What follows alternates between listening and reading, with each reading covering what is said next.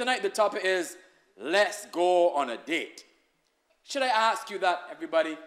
Where would be a good place in London to go on a date? What and where would you tell me? What, what would be a good place? Where would be a good place to go on a date in London? Shoot at me. I mean, not shoot at me. Shoot, tell me your answer. Don't shoot at me, just tell me your answer. Where would be a good place? Pardon? Where, where would be a good place? Yeah, man. Yeah. Where would, where would be a good place to go on a date? You, don't know? You don't know? Ritz-Carlton? No? Ritz-Carlton? Rick's? Ritz-Carlton? Give me a good place, quick. Where would be a good place to go to go on a date? My friend, where would be a good place to go on a date? Ramsay Gordon Restaurant. Yes? Anybody else? Where would be a good place to go on a date? Pardon? London Eye would be a lovely place to go on a date. Somebody says Goddard's dish, Goddard's kitchen, somebody. But a lovely place, the, the London Eye, a wonderful place to go on a date. I'm saying this to all of us tonight and those online. When you go on a date, you're building intimacy. Intimacy is, is that, as the, the Latin words give all of us, that intimacy has something to do with, with, with impress, inmost, closeness, and being familiar. And intimacy is that strong bond of togetherness and friendship. Strong bond of, of knowing someone. Intimacy is deeper than sex. And going on a date can, can build intimacy. Building physical intimacy, number one, one factor is talk. You talk, you communicate, you talk to build intimacy. That's why those of us who are married and those planning to get married, please spend time talking. Stop the time just looking in your eyes and say, oh, you look so fine. You look so fine. Spend quality time talking. I, I told some, some young people this. You know, learn to, to talk and build that, that level of intimacy. There was this young girl, you know, that this, this guy was talking with her and he would WhatsApp her. And every time she would say, LOL. How is your day? LOL. How are you? LOL. How is school? LOL. My mom just died. LOL. For goodness sake, have something to talk about. And you build, you know, you build intimacy. And it's more than just these fanciful words, you know what I mean? Trying to sweep persons off their feet, telling them, well, you know, if it were possible, I, I would destroy the alphabet and I will only keep two letters you and I. Don't use that, please. Don't use that. Don't use that. Don't use that, please. Or you tell her, girl, you look so tired. Then she'll ask you why. Then you tell her, well, you were running through my mind all night. don't use that. Don't use that. but share time. You know, share, share, share yourself. Use the time to share yourself and to build intimacy. In church, don't just sit in the corner and say to yourself, well, we are all told to work out your salvation in fear and trembling, and you are doing it by yourself. Build bonds in church. Don't just come in and be by yourself, build bonds. And that's why we are all one big happy family. what I like about church is that it is not about just me and not just about you, it is all of us. We are all different in the church. We all have different personalities, thank God. We all have different personalities, but we are one body. Somebody say amen. This world doesn't need all people like me. The, need, the world needs people like you and you and you and you, and also me. Spend time talking with each other. You want to know why the church doesn't have love? Because you also must show yourself friendly and talk. Build bonds, build intimacy. To build intimacy also too would be sharing of things and gifts. I know you people love to receive gifts. Just buy a gift out, you just go and buy a gift just because you passed down there in central London, saw a lovely gift, and just you would just buy the gift. Building intimacy. But also what we can do with things would also be sharing confidence, sharing trust, where persons can believe us. There's some people that we just can't believe. If they tell you walk, you better run. And then there's time. Time builds intimacy. That's why in the last days, we're told, well, don't forsake not coming together with your brothers and sisters. And that's why tonight I want to say thanks to all of you for coming. Because I know you, could have been someplace else doing something else. My visitors, thank you also for coming. But what it does is you spend time with each other. You're building community as a church. And families, please spend time. Not because that you're Seventh-day Adventist, it does not mean that you are automatically will have, have strong and solid families. You got to spend time. Spend time. And spending time will call for working at your family too. You remember, remember, remember Rebecca, Isaac's wife. You remember that she was chosen for him. She was chosen for. But then she's still tricking. so what it means, everybody is, you still got to work at your family, spend time. When I was younger, not so long ago. When I, I mean, this now is my this now is my 20th year in ministry, my friend. My 20th year in ministry. And before, I mean, when I was young, when I came in the church, when I came in ministry, I mean, I was youth director, I was doing all kind of things. And I was out there all the time, all the time, all the time. And my, my, my daughter, she is a budding artist. Now she's, she's doing, she's doing um, art back home in Barbados. She wants to be an artist, graphic design artist and animation, all these things. But from young, she was doing her artistic stuff. So when I was out all the time doing God's work, as I would have, she drew a picture my daughter drew a picture where at a beach. She drew a lovely beach scene. Had the waves in the right places and, and the beach scene all well. But she had three people at the beach. She had my wife, her mom. She had herself there. She had her brother, her twin brother, Dylan. And I asked her, Donna, where's, where's daddy? She said, Daddy is at work in her young mind, she didn't see me around everybody. And she, she only had three people in the picture. And that shook my heart. I said, by the grace of God, I will not allow her just to draw three people in the picture again. I must be in that shot. I had to pack up stuff, say no, spend some time. And by God's grace now, as she draws, she has daddy in the picture. It comes about by spending time. I don't care how much books you read. I don't care how much how much the word of God you know. You gotta spend time. Even with all of us, if you gotta spend time even in church. And know one another in church. Know what they like, know what they don't like. Everybody will not be the same. Thank God.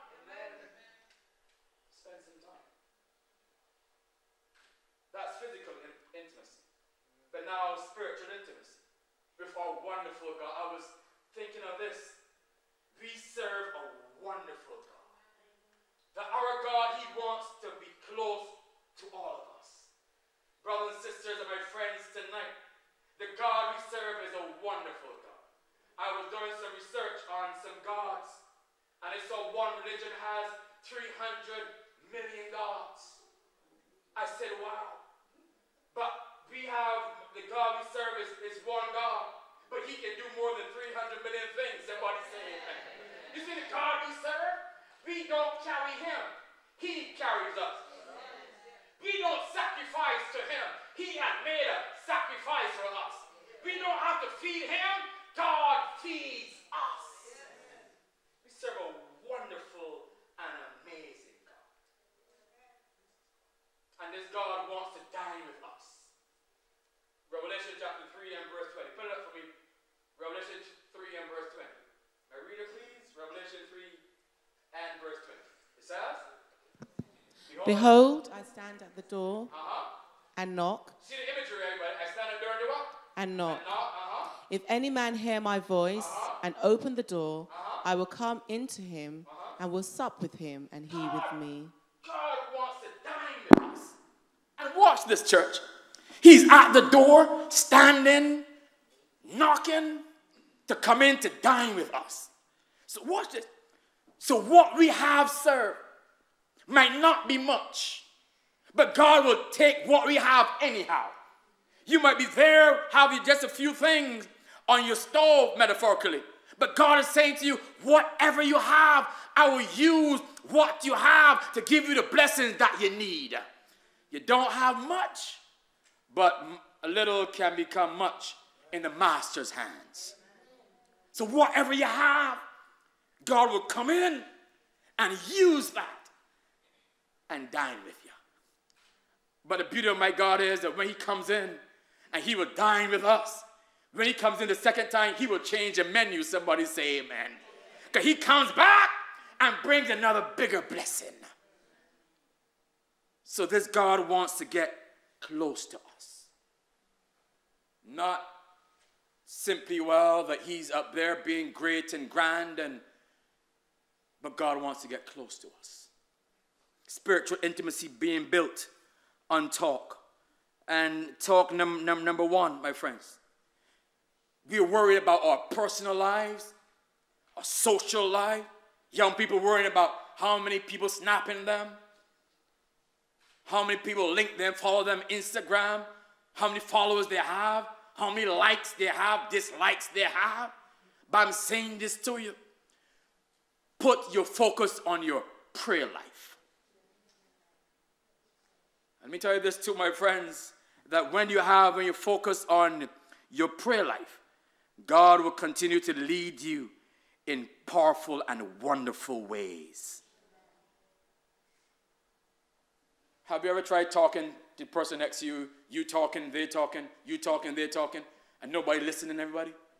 And our prayer lives is not just to come and tell God what we want and what, you know, God give me this, God give me that. But there are times when we got to come, come on our knees and simply listen to God. And we listen to God by this God speaking to us through His Word. You want to know, Pastor, is that the right way to go? God will not tell you to do something that is against His Word. You got to listen to God. And as a matter of fact, I have another one for you. Do you know the same letters used to spell the word listen are the same letters used to spell the word silent? And it tells us this we have to be silent in order to listen. In these times, we got to be still and know that God is God. When God tells us that He will do something for us, let God do it. Stop worrying. Stop trying to interfere with God. Be still and know that God is God. If you if you're gonna worry, as my granny told me, Dayle, if you're gonna worry, worry. If you're gonna have faith, have faith. Don't have faith and worry too. But talk to God. And one thing I love about God is that when we call upon his name, our God will answer somebody, say amen. amen. And that's what we gotta get, and that's who we gotta, gotta get close to. And also we have to, in building spiritual intimacy, the whole concept of things. Of things. When we give to God, God will give back to us. Somebody say amen. amen. I had some friends who were doing economics. They were telling me about some theory called econometrics. I tell them, well, I don't know anything of econometrics. I don't know about trickle down economics either. But I know about the economics of God. That when you give to God, it comes back to you. Somebody say amen. But when it comes back, it comes back pressed down, shaken together, and run over. somebody's head, man. I don't know what God will do with it, but it is always blessed when it comes back to us. Even when we, when we return our tithe back to God. People want to know how can you give 10%? Well, 90, well, all 100% belong to God. But when we return our faithful time and give a faithful offering, you see your money will stretch. I don't know how God will do it. That to me, if you have a hundred dollars and you keep all a hundred dollars, but if you have, but then if some person would give, keep 90 and return 10, you see that the 90 can go further than the 100. I don't know what God would do. God multiplies by dividing. Have you ever tried him, everybody? Return a faithful tithe? And then some person knocked at your door and say, I have something for you? Have you ever returned a, faith, a faithful tithe and loving offering and some person would have taken you out for lunch, saved your money? God will come through for us. And one thing I, I love about my God is that he brings it back. Brings it back to us. The devil will take things away from us. But God will bring them back with a bigger blessing. Building intimacy ultimately with God is spending time. Spending time with God. Genesis 2 1 and 2. Genesis 2 1 and 2. It says, reader? Thus the heavens and the earth were Uh-huh. finished, and all the host of them. hmm Verse 2. And on the seventh day, God ended his work which he Uh-huh. had made, and he rested on the seventh day from all his work which he had made. God entering now the deep relationship of sharing time. And nothing beats sharing time with us. Special time, quality time, set aside time. As a matter of fact, this is dating time. This is how God will build intimacy with all of us. Setting aside time to be with us. Let's turn, please, to Exodus 28 to 11. Exodus 28 to 11. Remember the Sabbath day to keep it holy. You do what, everybody? It says what? Remember. The first word says what? Remember, just don't forget. And I was doing some research. Amazing, everybody. Got me excited. In the book called Tipping Point. Please hear this. In the book Tipping Point, written by the, the, the guy Malcolm Glade. Malcolm Glad. This is what he said. He said, in the memory functions like this. Hear me, everybody. I got so excited. Memory functions like this. One, two, three, four, five, six, rest. One, two, three, four, five, six, rest. And you, could you believe it? That in the, the commandment that speaks to remember, in our memory, in our prefrontal cortex, would tell us about the Sabbath. Somebody say amen. So hence memory, memory goes along the line of seven. And memory goes along the line of the seventh day Sabbath. Somebody say amen. Don't forget it. One, two, three, four, five, six. Rest. You see, even in, in man's brain, the concept ingrained in, in man that memory is about seven is rest. And don't forget, my friends, that on the seventh day, God rested. Yes, next verse. Six days. Six days shalt thou labor and do all thy work. Uh huh. Keep, keep flowing, my friend. Keep flowing. Uh-huh. But the seventh day is the Sabbath of the Lord thy God. In it thou shalt not, not do any work, thou, nor thy son, nor thy daughter, thy manservant, nor thy maidservant, nor thy cattle, nor the stranger that was, is within thy gates. Verse 11. Yes. For in six days the Lord made heaven and earth, the sea, and all that in them is, and rested the seventh day. Wherefore the Lord blessed the Sabbath day and hallowed it. What a powerful experience, everybody. Involving all of us to come and go on a date. Every seventh day, just let's go on a day. And in that commandment also speaks to the point of the Sabbath being a seal.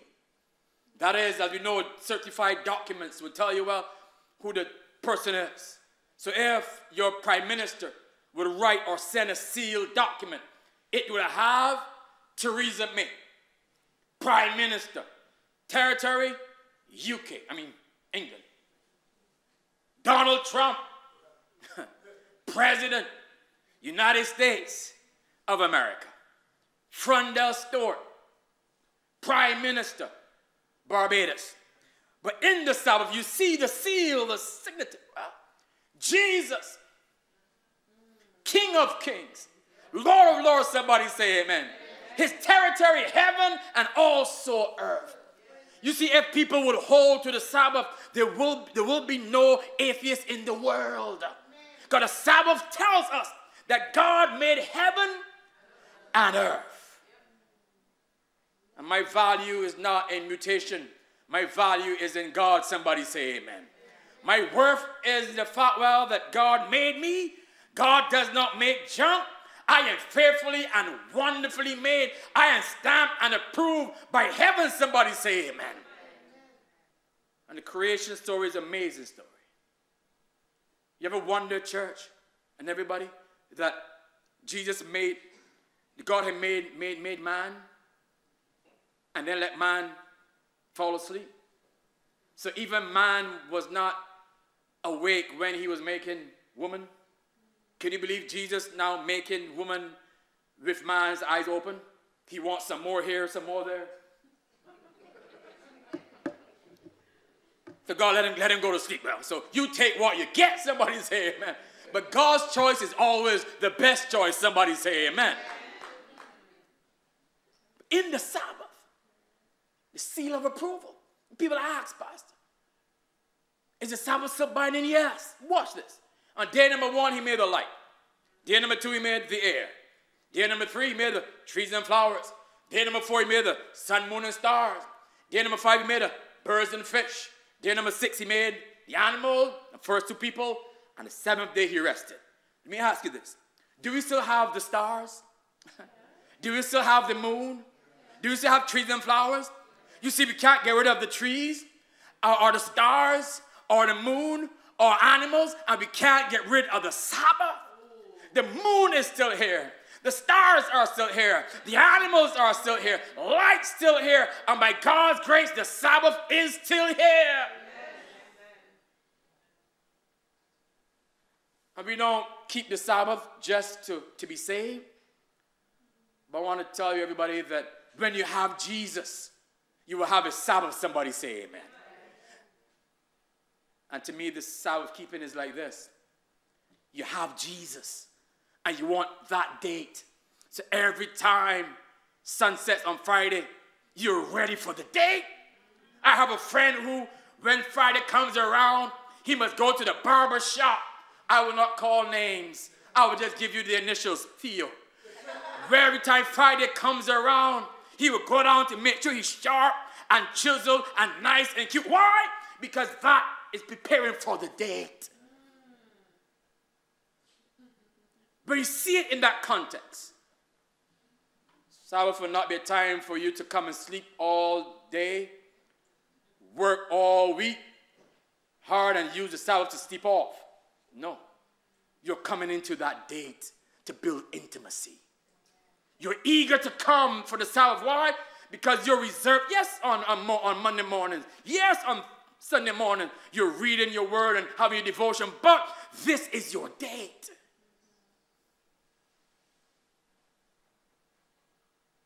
And I'm saying this to you. Sabbath keeping is not just you come in there to keep some hours and then go back home. That is what I call going down to central London and buy a ring. Put on a ring. Doesn't mean you're married. You can buy a ring. It doesn't mean that you're married. You need a man. Somebody say amen. So when you have Jesus, that's the man. Then the Sabbath will be the ring. Somebody say amen. And you're having a wonderful time in the Lord. And then you won't worry about breaking edges off the Sabbath. Why? Because your focus now is on Jesus. And you're coming for the date. And not only that, Genesis 2 and verse 3. Put up for me, my friend. Genesis 2 and verse 3 says, and what? And God blessed the seventh God day. did what? Blessed He blessed, uh huh. the seventh day and sanctified it, Uh-huh. because that in it he had rested from all his work which God created and made. Okay, blessed, sanctified, he rested. God kept the date. I also want to show you this. Not only God kept the date, Luke 4 and verse 16. Luke 4 and verse 16. Let's everybody read together. It says, everybody, it says. And everybody? he came to Nazareth, He came, who came? That's Jesus came. Uh huh. where he had brought been up. brought up, Uh huh. and as his custom was, he went into the synagogue on the Sabbath day and stood up for to read. So Jesus kept the date. As a matter of fact, this was now Jesus' coming home church. Came back to his home church. Can you picture? Jesus now coming back to church, and like at your church, Chiswick, where you have his name will be in the program. Yes, name will be in the bulletin. Everybody now come in to open the bulletin to see who's preaching today. Jesus.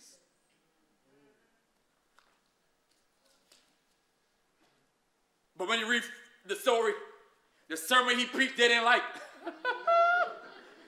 and they want to throw him down the hill. You know, when, when we do things that you, that, that you don't like, it was for them. But they, they didn't like the word. And they, they were vexed. And such that when he started, he was Jesus. Welcome home, son. Jesus. But after he spoke some words and told them, well, the Spirit of the Lord is upon me to preach the gospel to the poor, bring at liberty those that are captive.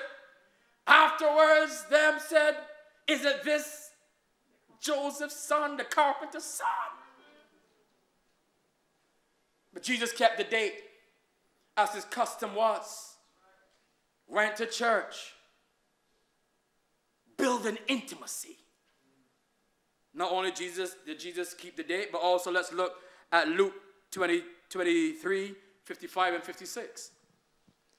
It says, let's read together. It says, And the women also, which came with him from Galilee, uh huh, followed after and beheld the sepulchre good, uh huh. and how his body was laid. 56. And they returned and prepared spices and ointments and rested the Sabbath day according to the commandment. The disciples, they, they, rest, they, they, they kept the date. You see, Calvary brought dis- disappointment, but Calvary did not bring disobedience. Say that again, I'm glad you ask. Calvary brought dis- disappointment, but Calvary did not bring disobedience. He died on Friday. But the disciples kept Sabbath. They were disappointed, yes, but they did not disobey and do something else. They kept the date. Not only did the disciples, also Paul, Acts 17 and verse 21. Acts 17 and verse 2, sorry, Acts 17 and verse 2. And Paul, as his manner was, went in unto them, and three Sabbath days reasoned with them out of the scriptures. This Paul, I mean, Paul, the reformed terrorist. Paul, who went to synagogues and pulled the Christians out. Paul, who was met on the road of Damascus. But I'm so glad that when God meets us and confronts us, I pray that all of us would do like Paul and say, I yield, I yield. And Paul now, and if anyone was to change or to do something different, he'd have used the Pauline writings. But Paul, for three Sabbaths, kept the date. Even after the resurrection of Jesus, Paul kept the date. But not only that, let's look at Acts chapter 13 and verse 42. Acts 13 and verse 42. And when the Jews were gone out, When the who, everybody? the Jews When the Jews were gone, uh huh. So, uh huh. out of the synagogue, Right. the Gentiles besought that these words might be preached to them the next Sabbath. She said, the Sabbath is not the Jewish Sabbath. It's not the Seventh day Baptist Sabbath. It's not the Seventh day Adventist Sabbath. The Sabbath belongs to the Lord. Somebody say amen. And it was the Jews went out the, temp- the synagogue, the temple, and the Gentiles stayed in. And didn't come the next day. The next day would have been the Sunday. But they came the next Sabbath. You want to know when the Sabbath is? You saw it too with the disciples. Jesus was crucified on Sabbath, but on, on Friday, kept the Sabbath, came Sunday morning. Friday being preparation day. And also, let me say this if I should announce a big, big flyover plane, like how the planes that had at the one of the stadium that I had stadium around, saying one plane said Wenger out, and the other plane had Wenger in. If I should have rent one of those planes to say, well, come and get seven million dollars on the seventh day from Chiswick. You know when, when, when the people come, everybody would come? They'll come on a Saturday. Jesus kept the date. The disciples kept, kept the date. Paul kept that date. The Gentiles kept the date. And all of us too, we have to keep the date. And not simply as a badge of honor to say, well, that, that we are better than anybody else. But we're keeping the date because we know Jesus. And we're coming to worship Him. Somebody say amen. And we're coming every Sabbath to have that wonderful date. So, Sabbath keeping is not just from sunset Friday to sunset on Saturday. Sabbath keeping, real Sabbath keeping too, is having your mind all during the week that you're preparing for a date. And you're preparing for a date with Jesus. Let's go on a date. And not only that, too, is in Hebrews, Hebrews chapter 4, Hebrews 4, 8 and 9. Turn there, please. Hebrews 4, 8 and 9. For if Jesus had given them rest, then would he not afterward have spoken of another day? Uh huh. There remaineth therefore a rest to the people. There remaineth for what, everybody? A rest. There remaineth a rest. There remaineth a date, not just a day, a date. Yes? Therefore, to uh, therefore a rest to the people of God. Verse 10. For he that is entered into this rest, he also has ceased from his own work as God did from his. I am so glad about that we have a date. A date with our Maker. Date where we can come and rest just from our weary and, and worrisome ways. I'm, I'm glad well that we can come and rejoice in the Lord always. And again, I say rejoice. I'm glad too that we all can sing the song and welcome, welcome, welcome God's holy Sabbath day. I'm glad that we all can sing, well, O day of rest and gladness, a day of joy and life. I'm glad we all can sing, everybody, that rest, that rest in Jesus. But as you rest, we also rest in knowing that salvation is in Jesus. Somebody say amen. We're resting also knowing too that we're clothed in the righteousness of Jesus. We are sinners, but we're clothed in Christ's righteousness. So when we come and worship God in Sabbath, we worship Him as Creator. When we come on Sabbath and worship Him, we worship Him also as Redeemer.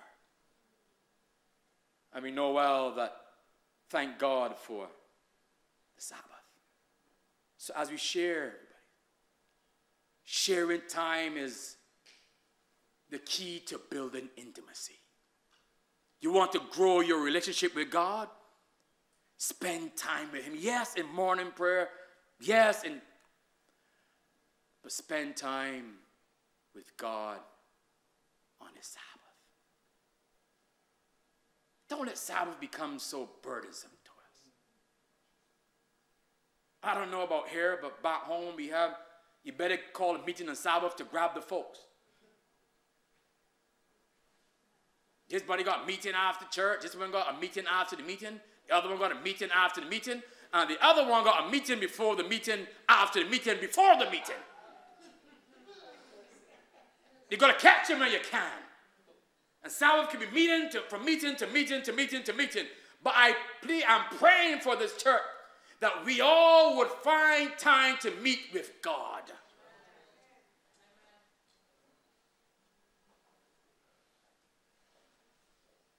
Because sharing time is building intimacy, getting close to God. And to keep his Sabbath, you got to first have him. And when you have him, you will have the ring and you will have the man. The ring being the Sabbath, the man being Jesus. And tonight, you want a deeper relationship with God. He's calling us back to true Sabbath worship. Calling us back to spending quality time with. Have a strong devotional life. Don't just run in there and catch the tube and jump in your car and stuff. Take time to pray. Bring your family to God. Bring yourself to God. Find time to pray. And watch this. If Jesus found time to pray, Jesus, who was fully God and fully man, if he found time to pray, how much more than all of us who are weak and feeble and, and frail, we must find time to pray. We can find time to do all kinds of things. Let us find time to pray. But let us find time. Find time to have true Sabbath worship. Because it is a date before God. And we want to get close. Tonight, everybody, God is calling us. Calling us. He wants to get close to us. Calling us to come to Him. So indeed, so indeed that all of us can be drawn closer to our God. I want to ask a question tonight. Do you want to get close to God? And if that is your desire, my friend, just, just stand to your feet. You want to get close to God, just stand to your feet. You want to get close to Him.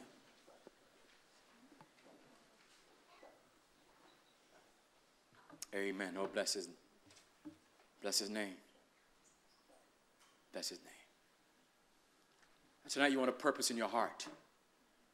That indeed that you would indeed get close to God, Bible study, prayer, listen to Him, but you want to improve your Sabbath keeping by first getting close to God. And tonight, as we do that, that lovely hymn, it says, All to Jesus I surrender, all to Him I freely give. What I love church, what I love about church is that there's no big I and small U's. We're not come here to just beat people over the heads and but we're all in it together. All in it together. You want to improve your relationship with God. So in turn you can improve your self-keeping. You want to have the man Jesus. So you can then hold the ring, which is the Sabbath. And tonight you want to say, God, I want to get so close to you. To improve my prayer life, my devotional life. To improve my Sabbath keeping. As we sing this song, just come on down so we can pray for you as we close. All to Jesus, the song says. All? Oh, let's go. All? All. Come on down so we can pray for you. You want to get close to God? Come.